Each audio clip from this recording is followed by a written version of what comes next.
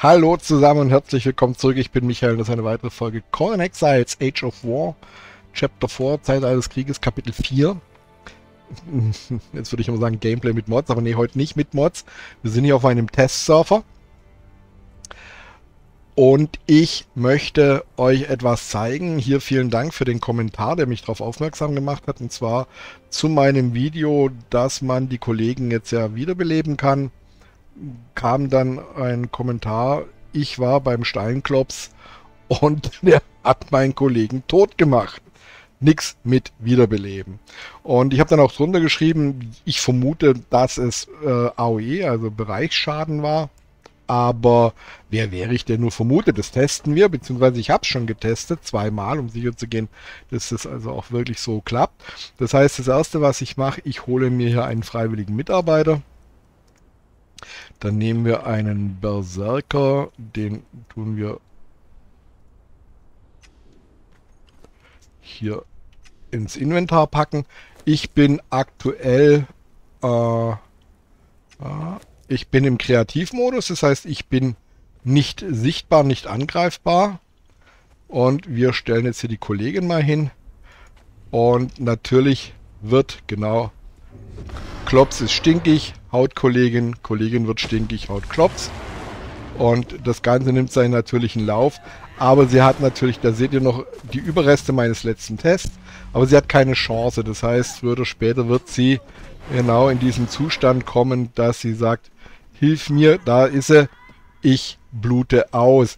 Und wenn niemand in der Nähe ist, also das heißt, wenn ich jetzt zum Beispiel schon tot wäre, dann würde die hier einfach knien und gut wäre das, wenn ich sie retten möchte, wer ist der größte Fehler, wenn ich an den rangehe? Ich muss den weglocken, weil was passiert, wenn ich jetzt mit ihm direkt über diesen niedergeknieten ähm, Opfer hier, über meinen Begleiter, na komm, jetzt, so, und jetzt geht's los, ich bleib hier sozusagen über der Kollegin, noch hat es, ja, das ist jetzt, jetzt habt ihr es gesehen, und im Prinzip ein, ein so ein Flächenattacke und sie hat im Prinzip fast die gesamten 1200 Lebenspunkte, die sie Puffer hat, sind weg und das war's. Ja. Ich gehe mal kurz in den Kreativmodus, damit er sich wieder beruhigt. Das ist das ganz große Risiko, das wir haben, wenn wir mit unseren Bekleidern gegen Bosse kämpfen, die AOE-Schaden machen. Das sind fast alle eigentlich. Ich wüsste, mir wird jetzt auf Anhieb kein Boss einfallen, der nicht in irgendeiner Weise Flächenschaden macht. Ähm, das Wichtige ist, dass wir, wenn unsere Begleiter down gehen, zuerst den Boss weglocken dann versuchen, schneller wie der Boss beim Begleiter zu sein, ihn aufzuhelfen und dann wegzurennen. Das heißt, wir müssen ihn in den Folgemodus nehmen. Auf jeden Fall, dass der auf keinen Fall nochmal eine serviert bekommt. Weil das eine ist, je nachdem, wie viel Leben er hat, wir haben ja gesehen, die kommen mit ungefähr 50 Prozent ihres Lebens, kommen sie wieder auf die Beine und ähm, je nachdem, wie stark der Schaden ist, den so ein, so ein Boss dann ausführt, kann es dann trotzdem dazu führen, dass wir ihn verlieren. Aber das eine ist ganz wichtig ist, wenn die hier auf alle Viere auf unsere Rettung warten, wegrennen, den Boss mitnehmen und ähm, den irgendwo hinkiten. Nicht zu weit, dass er nicht zurücksnappt, und dann versuchen, schneller wie er bei dem betroffenen Kollegen zu sein und dem wieder aufzuhelfen, weil sonst ist er tot. Bei der Überlegung, was, ob das so ist, wie ich es vermutet habe, äh, ist mir noch ein anderes Szenario durch den Kopf gegangen und das werden wir noch zusammen testen, weil das ist klar hier, der kniet da, der kriegt Schaden ab, der Schaden kriegt er genauso ab wie alle anderen, die in diesem Bereich sind. Bums tot. Wie sieht es aus, wenn er aber zum Beispiel noch tickende Vergiftung drauf hat oder Blutungsschaden? Wird das gereinigt in dem Moment, wo er in diesen Wiederbelebungsstatus geht? Oder bleiben die Ticks drauf und ticken dann gegen diese 1200 Punkte? Das werden wir testen. Dazu können wir wieder zu mir auf äh, in meine kleine Arena gehen. Die haben wir... Äh, wo sind wir denn? Hier sind wir. Die müsste hier unten sein. Da drüben ist die Arena. Und da war meine Überlegung, dass ich einfach eine Menge von den Cobras spawne. Wie heißen die denn? Wildlife Snake Cobra, Snake Desert. Hm, ich glaube, das sind die Desert. 1, 5, 6, 7, 8, 9, 10. Nein, das sind sie nicht.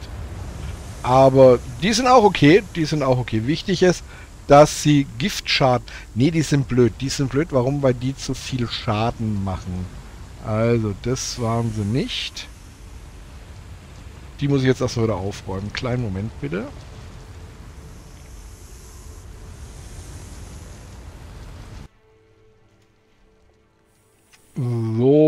da wären wir. Also, die großen sind es nicht, die ich wollte. Ich will die kleinen, warum? Weil die machen nicht so viel Bissschaden. Der Schaden soll ja auf jeden Fall sich aufbauen über die Vergiftung. Das heißt, ich hole mir wieder einen Mitarbeiter hier. Wir nehmen da... Wir nehmen da einen doch, nehmen wir nochmal einen Berserker. Mal gucken, ob das damit klappt. Aber ich denke ja. Der sollte eigentlich so viel Giftschaden kriegen. Ach, das war jetzt Kappes. Der ist da unten. Das ist auch der falsche. Ah, den lassen wir da. Administratemenü. Ich muss den natürlich einen Haken setzen, sonst klappt es nicht.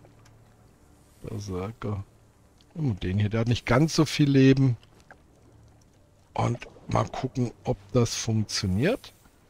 So, die greifen an und er wehrt sich natürlich jetzt, aber eigentlich müsste der jetzt richtig fett Giftschaden kriegen. Ihr seht, der...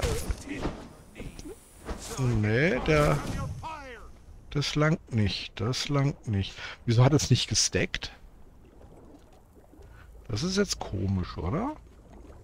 Dann tun wir hier nochmal ein paar Schlangen dazu.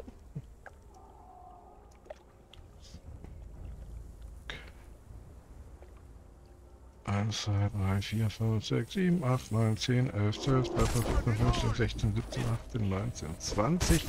So, die müssten ihn jetzt aber beißen, aber steckt nicht. Das ist jetzt komisch. Ich hätte gedacht, dass die steckt. Machen wir auf.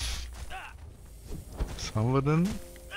Na, alle Sekunde sieben Punkte. Nö, das ist Das ist jetzt merkwürdig. Aber er ist down. Und der Giftbuff bleibt. Seht ihr das? Und der tickt deutlich schneller runter. Jetzt ist er weg. Der bleibt nicht so lange stehen. Aber es gibt da noch andere. Hört mal auf, bitte. Komm mal her. Und zwar die Diese grünen Heuschrecken. Die machen normalerweise einen richtig fetten Giftstapel drauf. Da gucke ich mal, wie heißen die. Kleinen Moment. Ich würde jetzt mal vermuten, das sind die hier. Dann nehmen wir mal zwei Stück. Jawohl, das sind sie. Mal gucken. Und der müsste... Und dann seht ihr, das deckt auf jeden Fall. Und jetzt mal gucken. Oh, richtig fetter Giftstapel. Das ist gut. Und so, und jetzt gucken wir mal, wie das runter tickt. Der hat einen 10er Stapel drauf. Und ihr seht, 11, 63, 20. Oh ja, das tickt mächtig runter. Also dann gehe ich mal davon aus, dass auch Blutungsschaden genauso funktioniert. Das heißt, der Stapel, den derjenige drauf hat, der in die Knie gezwungen wird, der wird definitiv noch abgearbeitet. Und was jetzt noch viel spannender ist, ist was anderes, wenn ich, die machen ja solchen Giftsprotzer. Ich gehe mal hier aus dem Ding raus. Komm mal her, tu mich mal angreifen. Ich will mal, dass du mich... Genau. Und genau, seht ihr das? Das zieht auch durch. Oder? Komm mal her. Mal gucken. Komm, mach mal. Ja, das ist... Okay. Der Schaden geht durch, aber er steckt kein Giftstapel mehr hoch. Das heißt, der, der... Mal gucken, kommst... Jetzt mach mal, schlag mal zu. Okay, also, so wie es aussieht, ist es so, dass... Komm mal hier rüber, lass den mal in Ruhe. Dass der Schaden über Zeit, den der Betroffene drauf hat, wenn er in die Knie gezwungen wird, dass der ausläuft. Das heißt, 20er Stapel äh, Bluten oder ein, äh, hier in dem Fall ein Stapel, was waren es, glaube ich, 10er Stapel sind es dann, Gift oder was auch immer, die zählen durch und wahrscheinlich, wenn je nachdem, ähm, wenn der jetzt beide negativen Stapel drauf hätte, würden ja auch beide durchticken. Also das auf jeden Fall. Der AOE-Schaden, der bei mir oder bei einem normalen Gegner dann ähm, diesen Giftschaden ursachen würde, also wieder diesen Schaden hochzählen, der scheint nicht durchzugehen. Das heißt, da haben wir den Effekt, dass sozusagen der Stapel dadurch auch nicht refreshed wird. Könnte ja theoretisch sein. Es ist ja so, dass wenn man einen Blutungsschaden drauf hat man, oder einen Giftschaden drauf hat und man kriegt dann innerhalb der, äh, sag ich mal, Refresh-Zeit erneut einen Giftschaden drauf, dann tickt der wieder die volle Zeit. Der gesamte Stapel tickt dann weiter.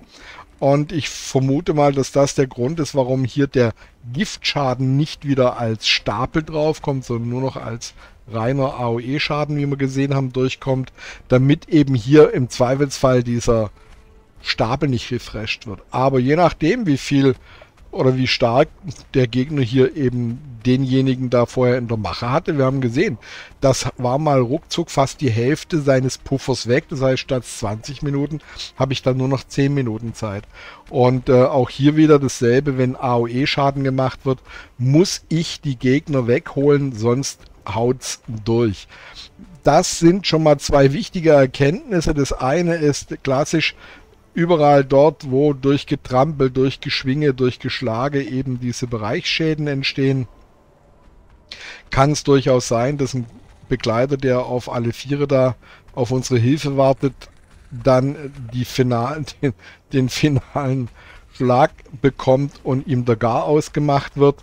Das zweite, was wir gesehen haben, ist, dass alle Schadens über Zeit Stapel, die drauf sind, in dem Moment, wenn er in die Knie geht, weiter ticken, bis sie aus, auslaufen, aber sie werden nicht refreshed, so wie es aussieht, sondern äh, dann werden die Schäden, die dann der Begleiter auf alle Viere dann noch durch den Kampf um ihn herum abbekommt, ganz normal draufgehauen. Also so wie es aussieht, ist er dann immun gegen Gift, den reinen Giftschaden, der stapelt nicht mehr und wahrscheinlich dann auch gegen Blutungsschaden. Also, das heißt, wiederbeleben ja, aber aufpassen, Gegner weg von die Begleiter, damit wir im, am Ende des Kampfs dann auch wirklich eine Chance haben, den wiederzuholen. Und äh, ich sage mal, das müssen nicht nur Bosse sein mit den Bereichsschäden. Wir haben es gesehen, hier diese Heuschrecken mit ihrem Gespronze. Äh, denken wir ans Mammut, wenn der diese Trampelangriffe macht äh, oder den, den, den Schlenker, auch diese Karussellbewegung macht. Ähm, das normale Krokodil, das kleine, schlägt ja auch zu auch der Schnapper, wenn es nach vorne springt, ist eigentlich ein Bereichsschaden, denn zwar enger Konus, aber alles, was im Weg ist, erwischt ist. Das Rhinoceros, also das Rhino, wenn es angreift und dann ähm, diesen Trampel- und Nasenschaden, also wo man dann auch Blutungsschaden abbekommt, ist eigentlich ein Bereichsschaden, weil der eben auch durch mehrere Gegner durchgeht. Also ihr seht, da gibt es schon eine ganze Menge an ähm, Szenarien, wo der Kollege Wieso hab ich ihn jetzt? Das kann aber nicht sein. Hab ich den jetzt erwischt? Das müssen wir mal ganz kurz ausprobieren. Das wäre natürlich ja noch heftiger, oder? Kann ich den selber? Weil ich mache ja einen kleinen, man macht ja etwas Nee, eigentlich machen wir nicht kein Friendly Fire. Es gibt ja keinen Freund von... Oder? Nö, gibt, gibt's nicht.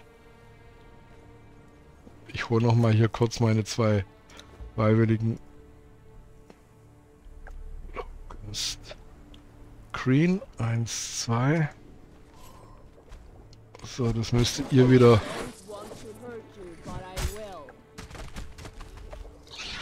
Ja, ihr seht, stackt schon wieder schön. Überlebt es.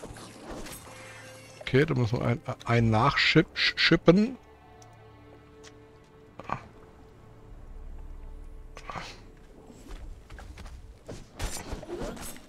Komm, los, macht mal. Sonst macht es euch tot, bevor... ah, jetzt kommt. Ich will doch hier was ausprobieren. Menschenskinder.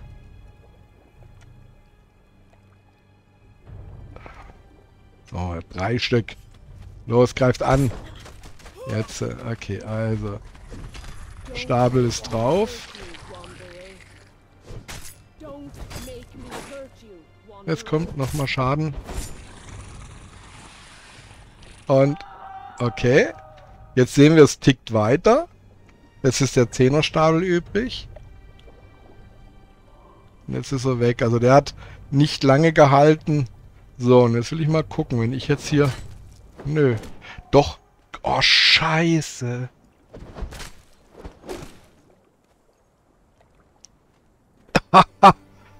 okay. Das ist natürlich doppelheftig.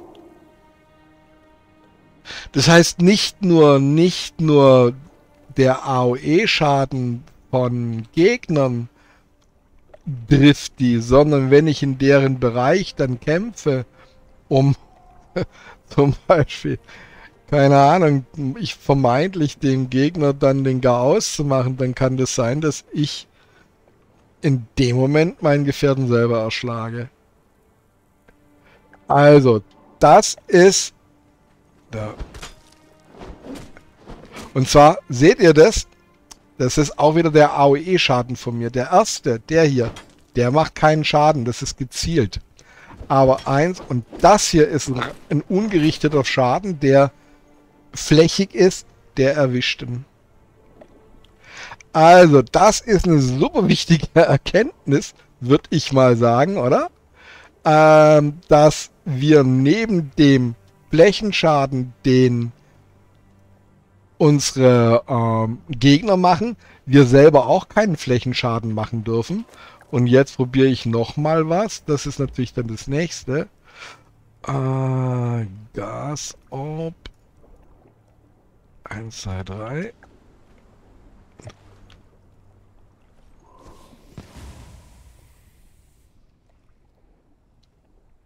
Guckt euch das an. Das geht voll durch.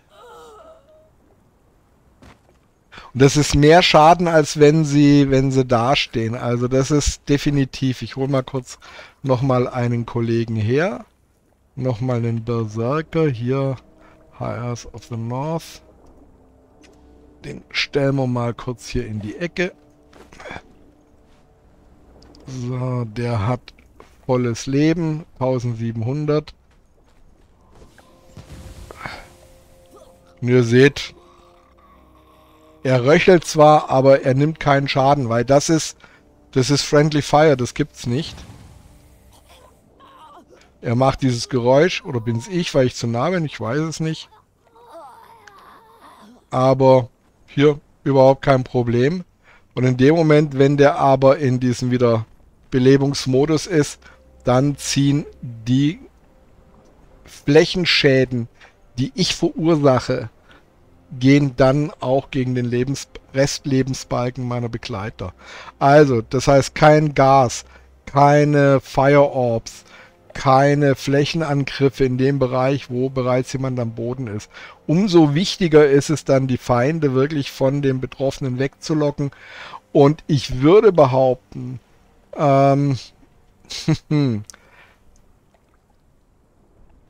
ich behaupte, dass auch der Bereichsschaden der Begleiter untereinander dann durchaus durchgeht. Das genau dasselbe ist.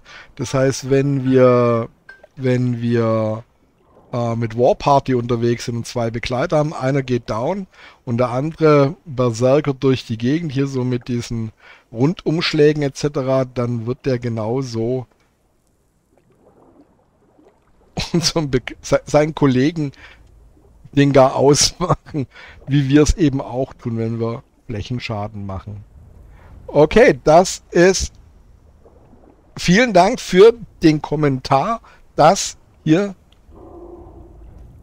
das Steingesicht da oben äh, deinen Begleiter gekillt hat, weil das hat mich dazu verleitet, hier diese Folge zu machen und es zu testen, weil es war mir ziemlich klar, dass das eben der Bereich Schaden ist, aber es musste bewiesen werden, aber was viel wichtiger ist, sind die zwei weiteren Erkenntnisse. Das eine ist, dass der ähm,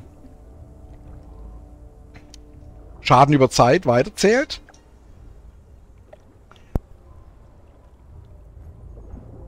Dass der Schaden über Zeit weiter tickt. Und ganz wichtig, dass unser eigener AOE, also nicht gezielte Schläge, das haben wir gesehen, wenn ich da drauf springe und zuschlag, passiert nichts, aber wenn ich dann diesen, diesen Flächenschaden mache, da erwische ich ihn. Und äh, genau dasselbe ist dann zum Beispiel mit Gasorbs oder mit den Pfeilen wird es so sein oder Sprengpfeil oder was auch immer. Alles, was eben diesen Bereichsschadenstyp an Schaden oder dieser Schadenstyp Bereichsschaden ist, der wird dann eben auch gegen diese Hitpoints gehen. Und ich vermute, dass es daher kommt, dass sie nämlich ähm,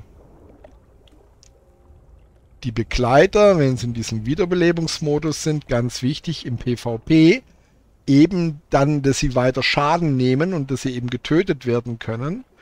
Und ich gehe mal davon aus, dass man dann es einfacher hat, wenn man dann nicht mehr den Flächenschaden, der eben aufkommt in so einem Kampf, dass man den dann nicht mehr unterscheiden muss, sondern sagt, okay, alles, was an Flächenschaden durchgeht, geht durch. Bums. Also, aufgepasst. Wenn die auf alle Viere durch die Gegend kriechen, beziehungsweise sie halten relativ still, weg von denen, die Gegner mit wegziehen, ganz wichtig, damit eben deren AOE auf keinen Fall die Kollegen trifft und man selber eben je nachdem, wie man und mit welcher Waffe man zuschlägt, eben dann auch nicht seine eigenen Begleiter dahin meuchelt. Wichtige Erkenntnis, dafür machen wir solche Tests. Ich hoffe, ähm, euch hat die Folge, wenn es auch ein bisschen chaotisch war, ähm, hat euch gefallen. Ich hoffe, ihr nehmt diese, äh, ihr, ihr, freut euch, wenn es auch negativ ist, über diese Erkenntnis, die ihr hier mitnehmt und könnt dementsprechend auch besser äh, agieren, auf eure Kollegen aufpassen. Wenn es euch gefallen hat, ihr kennt es ja, Daumen nach oben würde mich freuen. Kommentare natürlich ganz wichtig. Ihr seht, wie wichtig Kommentare sind. Ja, sonst wäre ich nie auf diese, diese, diese Tests gekommen. Und ähm, ja, gerne auch ein Abo dalassen. Und äh, alles das hilft mir beim äh, Algorithmus in YouTube nach oben zu krapseln, damit eben YouTube merkt, da ist einer, der macht scheinbar ganz interessante Videos. Jo, und ansonsten wäre es einfach toll, wenn ihr in der nächsten Folge wieder mit dabei wärt. Hier bei Conan Exiles, äh, Age of War, Kapitel 4. Wer weiß, Gameplay mit Mods, Gameplay ohne Mods, nochmal was zum Testen. Äh, ich habe mir schon ein paar Gedanken gemacht, was ich noch testen könnte, eben auch in Bezug auf dieses Begleiterthema. Das ist zum Beispiel das Sterbeverhalten in Dungeons. Da muss ich auch nochmal testen, wie sieht es da aus, was darf man da, was darf man nicht, kann ich das Dungeon verlassen, kann ich wieder rein, etc. Das gucken wir uns auch noch an. Ähm, weiß nicht, ob es schon in der nächsten Folge sein wird, aber da wird auf jeden Fall was kommen, ja. Ja, und bis dahin macht's gut. Tschüss zusammen. Passt auf euch auf. Ne, ihr wisst ja, ne? Immer schön gesund bleiben. Bye bye.